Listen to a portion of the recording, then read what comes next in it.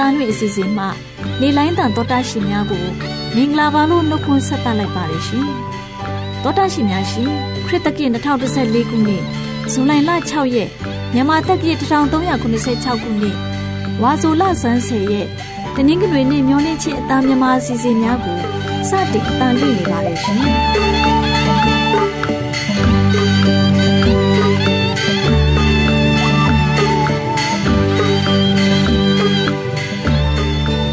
တော်တာရှင်များခင်ဗျာ AWR မျိုးလင်းချင်းအတန်မြန်မာအစီအစဉ်ကိုနနက်6နာရီခွဲမှ9နာရီထိ31မီတာ kHz 9303ညညပိုင်း9နာရီမှ9နာရီခွဲအထိ22မီတာ kHz 13625ကနေစတင်ထုတ်လွှင့်ပေးနေပါတယ်ခင်ဗျာ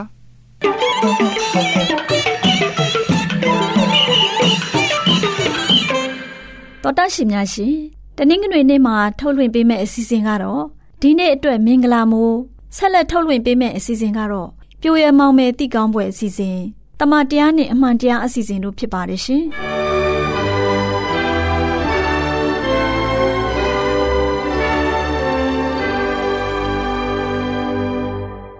တော်တာရှင်များရှင်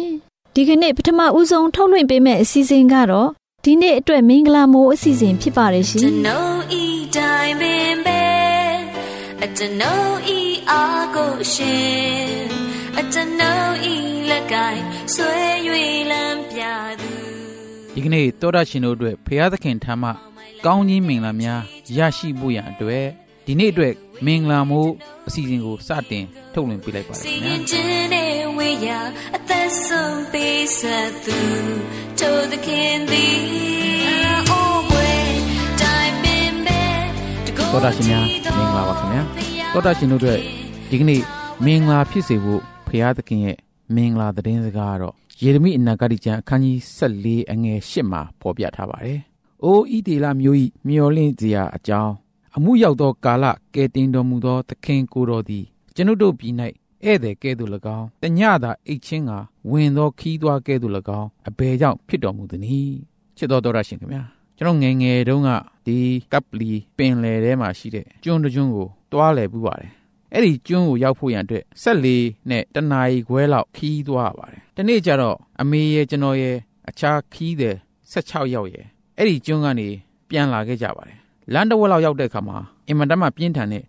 လေမုန်တိုင်းကြီးနဲ့တိုးသွားတော့တယ်မိနစ်အနည်းငယ်တွင်ကျွန်တော်တို့ဆက်လီလည်းပဲမှောက်သွားပါတော့တယ်ကဲတင်ရှင်များတွေ့လို့တွေ့ညာလေကိုတွေ့ပြီးတော့ ကြိုးစားရုန်းကန်ခဲ့ရပါတယ်ရေထဲမှာချမ်းကလည်းချမ်းလေကလည်းတိုက်ခြေတွေလက်တွေကထုံကျင်လာတာနဲ့လေကိုမနှဲကြိုးစားပြီးတော့ဖက်တွယ်ခဲ့ရပါတယ်ကျဲအလင်းအောင်မပြောနဲ့ကျဲတပွင့်တလေးတောင်မှ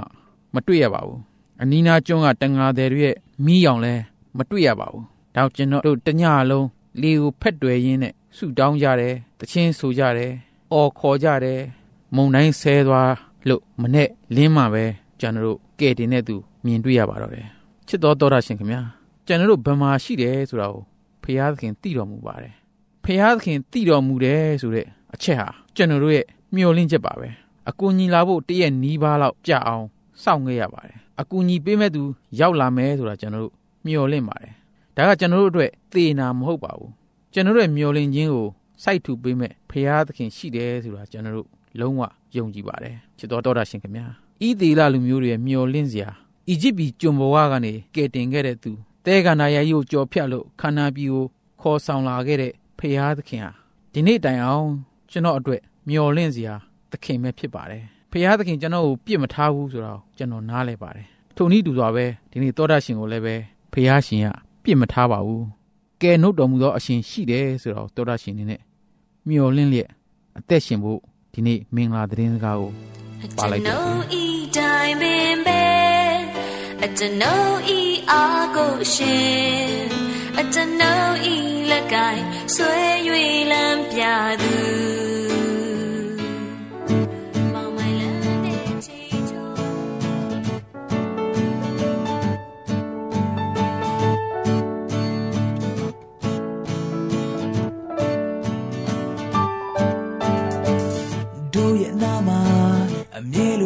မဲ့ ဖြတ်စီဖို့မတွေ့မနက်ဟာရှိတယ်တီတွေထားခွဲနှုတ်ကပတရားကိုမြဲမြဲဆွဲကရှေးသက်တာကရည်တွေလိုတယ်ကဘဝနဲ့နောက်ဘဝတွေစိတ်ချစရာလမ်းခရီးသမားကြောင်မြဲလင်း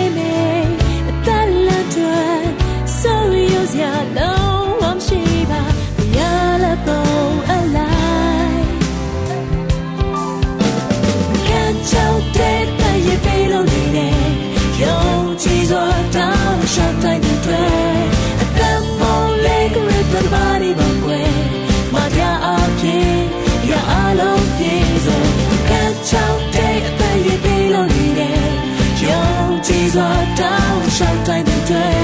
အတမ်းမောလေးကရတဲ့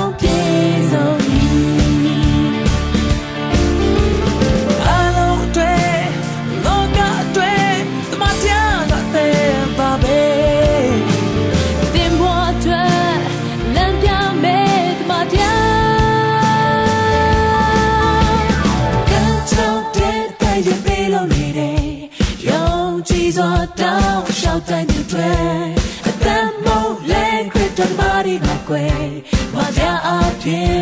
ရအလုံး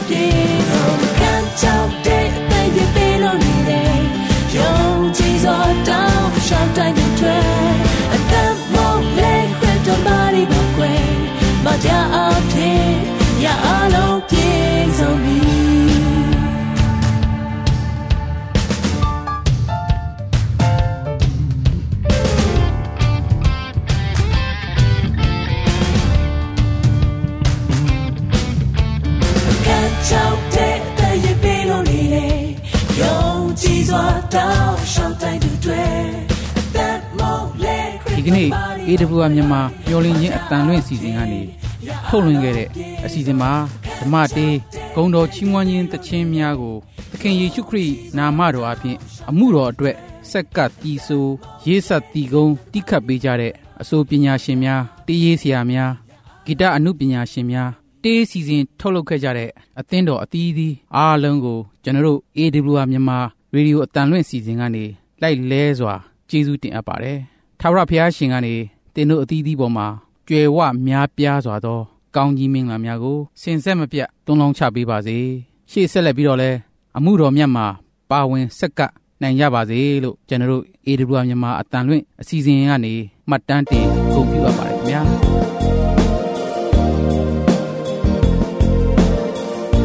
မျောနေခြင်းတဲ့ကောင်းများထုတ်လွှင့်နေတဲ့ AWR မျောနေခြင်းတဲ့ ဆက်လက်ထုတ်လွှင့်ပေးမယ့်အစီအစဉ်ကတော့ပြိုရမောင်မယ်တိကောင်းပွဲအစီအစဉ်မျောလင့်ချင်းအတန်မြန်မာအစီအစဉ်မှအတန်လွှင့်နေပါတယ်ခင်ဗျာဒီကနေ့မှာပြိုရမောင်မယ်တိကောင်းပွဲအစီအစဉ်မှာလူငယ်မောင်မယ်တို့အတွက်တိတ်မဖွယ်ရာတွေကိုတင်ပြပေးတဲ့အချိန်ရောက်ရှိလို့လာပါပြီခင်ဗျာပြိုရမောင်မယ်တိကောင်းပွဲတိကောင်းပွဲတိကောင်းပွဲတိကောင်းပွဲတိကောင်းပွဲ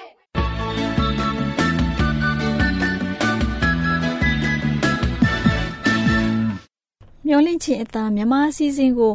နားတော်တာဆင်နေကြတဲ့လူငယ်မောင်မယ်များမင်္ဂလာပါနော်လူငယ်မောင်မယ်တို့ရေဒီနေ့ပြိုးရမောင်မယ်တိကောင်းပွဲအစီအစဉ်မှာမုံတိုင်းဟာကြာရောက်နေတယ်ဆိုတဲ့အကြောင်းနဲ့ပတ်သက်ပြီးပြောပြပေးမှာဖြစ်ပါတယ်ကွယ်လူငယ်တို့ရေဖျားသခင်ကိုတာပြီးတော့စိတ်အားကြီးစွာနဲ့ရှာဖွေရမယ်တဘာဝဘေးအန္တရာယ်ဒီပါလဲကြာရောက်လျက်ရှိပြီဆိုတာအားလုံးအသိပဲဖြစ်တယ်နောင်တရချင်းနဲ့အဲ့ဒီတိုက်ခိုက်မဲ့အရှင်ကို ခံနိုင်ဖို့ပြင်ဆင်ကြရမယ်ကဘာမြေကြီးဟာလည်းကြောက်မဲ့ဖွယ်ရာကောင်းလောက်အောင်ငလင်တွေလှုပ်မယ်လူတို့ဟာဘေးဒုက္ခတွေကိုအရရတိုင်းမှာတွေ့မြင်ရမယ်တင်မောပေါင်းထောင်ချီပြီးတော့ပင်လယ်ထဲမှာလဲနှိမ့်မြုပ်ကြမယ်ရေတက်စုတွေဟာရေအောက်ကိုနှိမ့်မြုပ်ကြပြီးလူအသက်တန်းပေါင်းများစွာဆုံးရှုံးကြမယ်ရုတ်တရက်မီးလောင်ကျွန်းလာပြီးတော့လူရဲ့လုံလဝရိယနဲ့မီးကိုမငိမ့်တတ်နိုင်ပါဘူး လောကရဲ့နန်းတော်တွေဟာလည်းမီးလျံရဲ့ဝါမြူချင်းကိုခံရမှာဖြစ်တယ်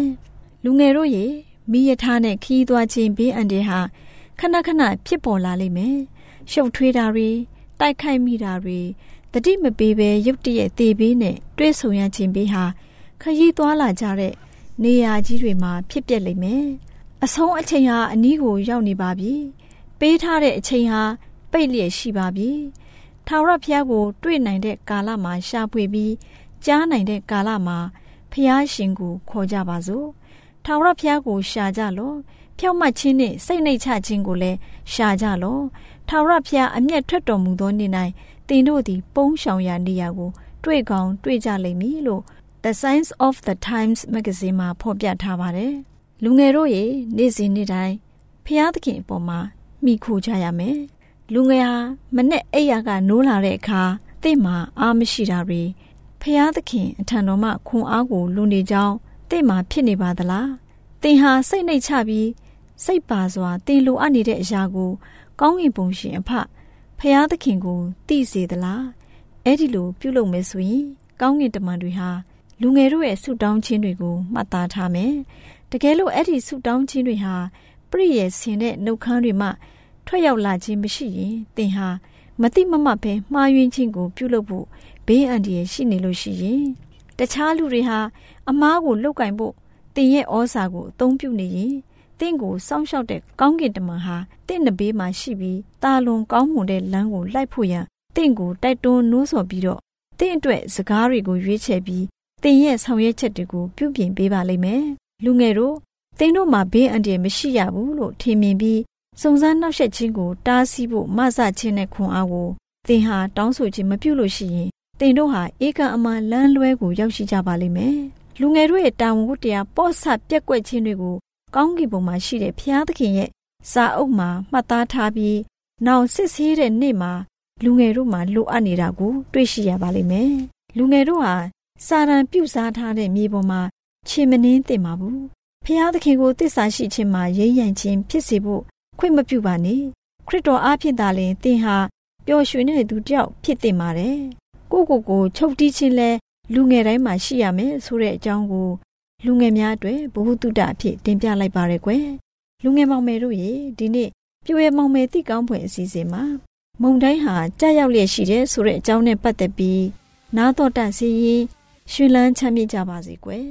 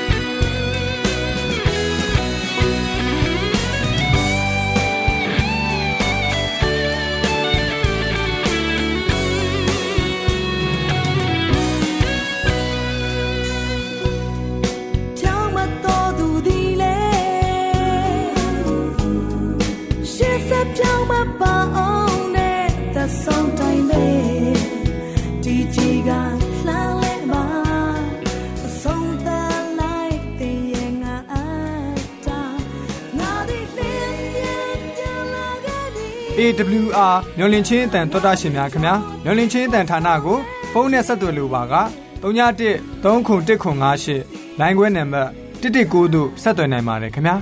တောတာရှင်များရှင်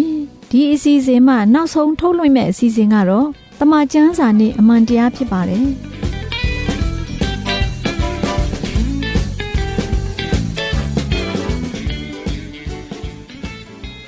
မာကျန်းစာနဲ့အမှန်တရားသွန်သင်ချက်တရားဟောချက်အစီအစဉ်ကို AWR မျော်လင့်ချင်းအတန်မှဆရာဦးလာမျိုးဝင်းကအစီအစဉ်တင်ဆက်ခြင်းဖြစ်ပါတယ်တောရရှင်များမင်္ဂလာပါခင်ဗျာဒီနေ့အစီအစဉ်ကနေ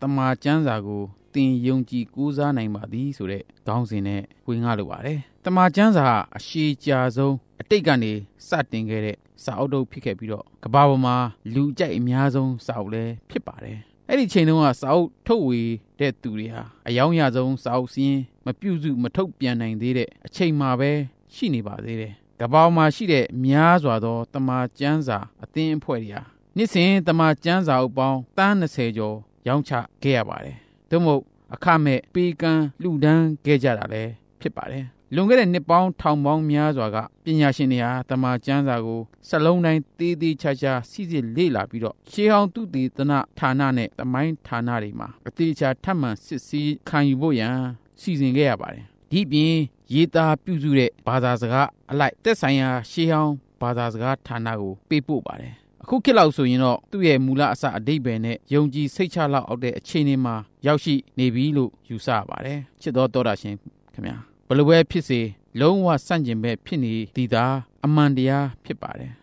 အချို့သောလူတို့ဟာဖျားသခင်နှုတ်ကခေါ်ပေးပြီးကျမ်းစာတော်မှာပါတဲ့စကားလုံးတိုင်းကိုလူတွေကလိုက်ရေးရတယ်လို့ယုံကြည်ကြပါတယ်အချို့သောပုံကိုယ်တွေကြတော့ရှေးကနှုတ်နဲ့အာဂုံဆောင်ရွတ်ဆိုလေရှိတဲ့အတွက်ကြောင့်စာဖြင့်လိုက်ရေးခြင်းသာဖြစ်တယ်လို့ဆိုပါတယ်အချို့ကလည်းကျမ်းစာမှာ ပါဝင်တဲ့ပုံမြင်တွေဟာတမိုင်းအဖြစ်မှန်ကိုအတိအကျမှတ်တမ်းတင်ထားခြင်းဖြစ်တယ်လို့ယူဆပါတယ်အချို့ကကြတော့ဒန္တာကြီးရှေးအောင်ပုံမြင်တွေသာစုစည်းတင်ပြထားတာလို့လည်းလက်ခံကြပြန်ပါတယ်ဒါကြောင့်မို့လို့တမန်ကျမ်းစာကိုယုံကြည်ကိုးစားနိုင်လောက်ပါသလားဒီနေ့အကြောင်းပြချက်၃ခုနဲ့ဆွေးနွေးတင်ဆက်လိုပါတယ်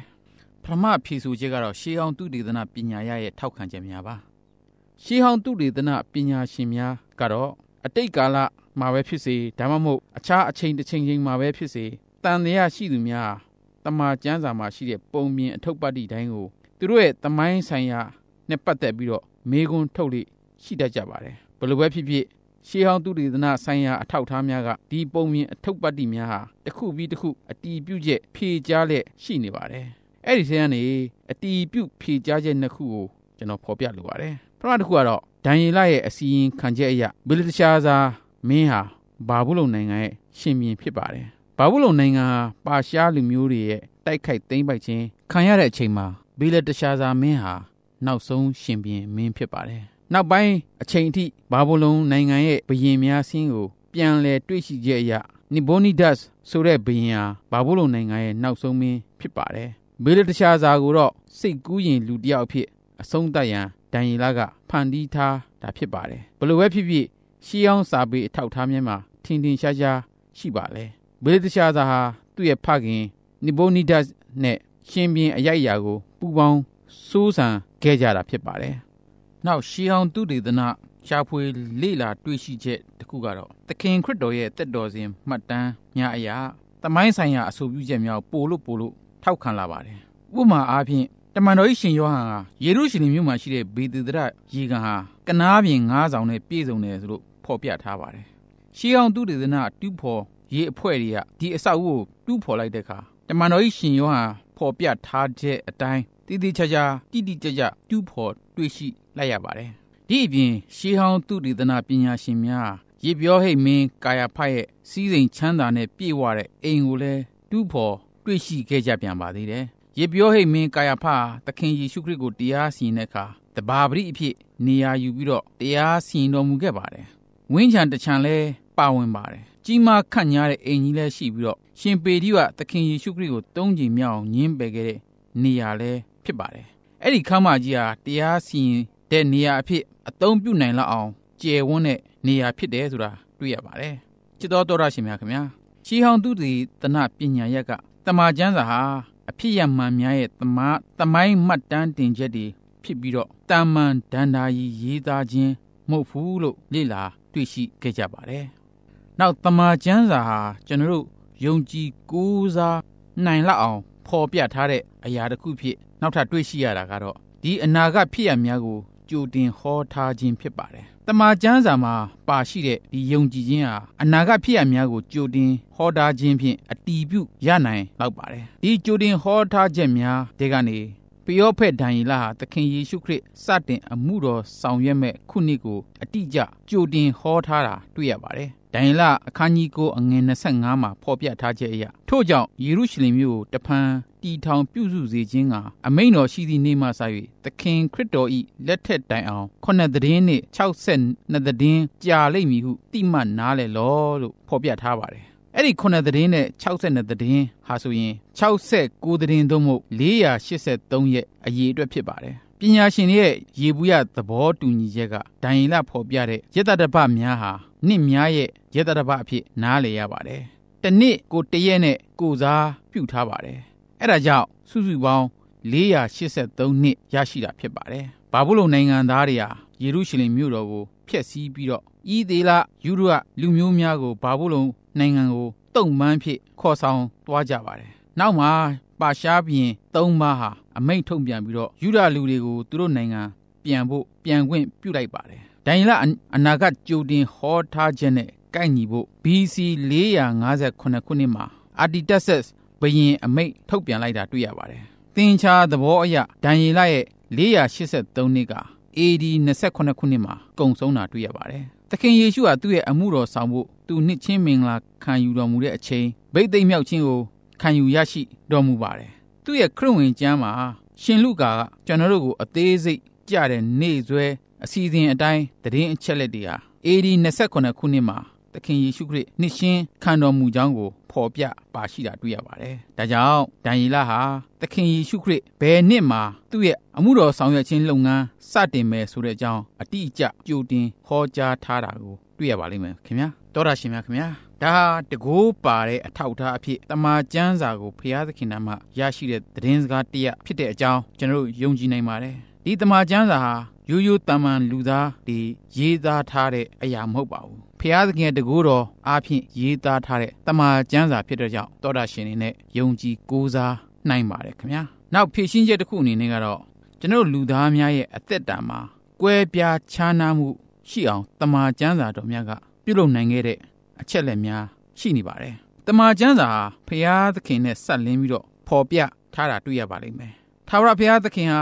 ချစ်တနာခြင်း ကျေးဇူးကရုဏာနဲ့ပြည့်စုံခြင်းစိတ်ရှည်ခြင်းအထောင်အတောင်းများစွာသော သူတို့ကိုမေတ္တာရှိတော်မူခြင်းအာရမကျင့်ခြင်းအပြစ်ဒုစရိုက်ပြုတဲ့သူပုံကံခြင်းတို့ကိုခွင့်လွှတ်တော်မူတဲ့အကြောင်းကိုလည်းတမန်ကျမ်းစာမှာဖော်ပြထားပါတယ်။ဖျားသခင်ကကျွန်တော်တို့ကိုမကောင်းတဲ့ဆေးဝါးဆွဲခြင်းဆိုးတဲ့အကျင့်စရိုက်တွေကနေအောင်နိုင်တဲ့ခွန်အားကိုပေးသနာတော်မူတဲ့တက်သေးတွေကိုလည်းကျွန်တော်တို့လူသားတွေရဲ့အသက်တာမှာမြင်တွေ့နေရပါတယ်။တမန်တော်ကြီးရှင်ပေါလုကဘာပြောလဲဆိုရင် ယုံကြည်သူတိုင်းတို့အားကယ်တင်ခြင်းရရှိရန်တကူတော်ပင်ဖြစ်သည်ထို့ကြောင့်ပင်ပညာတရား၏လိုအပ်သောဖြောင့်မတ်သောတရားကိုကျွန်ုပ်တို့တွင် ပြည့်စုံစေရန်ဖြစ်သည်ယုံကြည်သောသူအပေါင်းတို့ကိုကယ်တင်စေရန်ဖျားသခင်တကူတော်ဖြစ်သည်လို့ဖော်ပြထားပါတယ်ချစ်တော်တော်ရရှင်ခင်ဗျာဒီလိုမိန့်တော်မူချက်များဟာတကယ်အစင်စစ်မှန်ကန်ပါတယ်ကမ္ဘာမှာရှိတဲ့လူသားအားလုံးတို့ဟာလည်းကိုယ့်ရဲ့အသက်တာကိုထာဝရဘုရားထံကိုအံ့နာမယ်ဆိုရင်ကျွန်တော်လူသားတွေရဲ့စိတ်နှလုံးထဲမှာ ဖျားသခင်တကူတော်ကိုတုံလောင်းပေးပြီးတော့ဖျားနဲ့ပိုးပြီးတော့နီးကပ်တဲ့အသက်တာနေ့စဉ်မွန်မြတ်တဲ့တန့်ရှင်းတဲ့အကျင့်စာရိတ္တပိုင်ဆိုင်လာကြမှာဖြစ်ပါတယ်ဒီလိုကောင်းမွန်တဲ့အကျင့်စာရိတ္တနဲ့အသက်ရှင်လာနိုင်ဖို့ရန်အတွက်တမန်ကျမ်းစာတော်ကကျွန်တော်တို့သောတာရှင်အားလုံးကိုလက်ကမ်းကြိုဆိုလက်ရှိပါတယ်ဒီအရာကြီးမြတ်ဆုံးသောအထောက်အထားဖြစ်ပါတယ်ဒါကြောင့်သောတာရှင်နေနဲ့ဖျားရှင်နှုတ်တော်ဝိညာဉ်တော်အားဖြင့်ရေးသားဖော်ပြထားတဲ့တမန်ကျမ်းစာကိုဒီနေ့ယုံကြည်ကိုးစားနိုင်ပါပြီခင်ဗျာ တောတာရှင်ကိုယ်တိုင်ဒီတမန်ကျမ်းစာကိုတေချာစွာဖတ်ရွတ်လေ့လာကြည့်ရှုခြင်းအပြင်တောတာရှင်အသက်တာကိုအထောက်အကူပေးနိုင်မှာဖြစ်ပါတယ်တောတာရှင်တို့ယုံကြည်စိတ်ချမှုကျေနပ်အားရမှုတွေမြောက်များစွာဖြစ်ပေါ်လာမှာဖြစ်ဖြစ်ပါတယ်။ဒါကြောင့်တောရရှင်ကိုယ်တိုင်တမန်ကျမ်းစာကိုတေချာစွာလေ့လာဖတ်ခြင်းအပြင်ယုံကြည်စိတ်ချမှုကိုခံယူလိုက်ပါ။ဘုရားရှင်ကောင်းချီးပါစေ။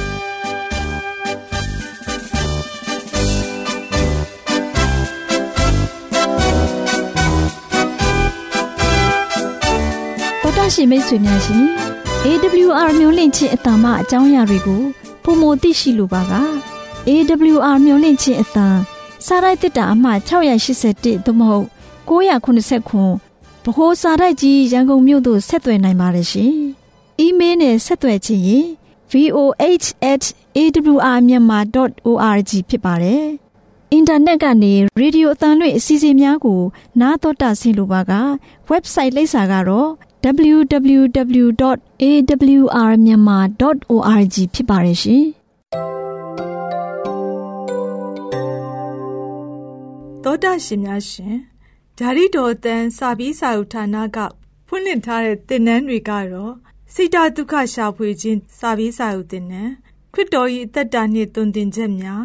တင်းနှစ်တင့်ကျမ်းမာရေးစာပြီးစာဥသင်တန်းရှာဖွေတွေ့ရှိခြင်းလဲညွန်စာပြီးစာဥသင်တန်း ကျမ်းမာခြင်းနှင့်အသက်ရှိခြင်းသင်ခန်းစာတဘာဝဆရာဝန်ရှိဦးစာပြီးစာဥသင်တန်းတို့ဖြစ်ပါတယ်ရှင်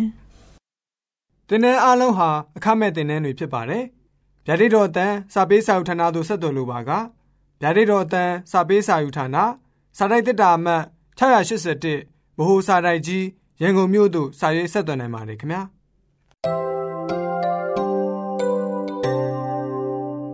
တော်တာရှင်များခင်ဗျာ AWR မျိုးလင့်ချင်းအတန်မြန်မာအစီအစဉ်ကိုနက်နက်6နိုင်ခွဲမှ9နိုင်အထိ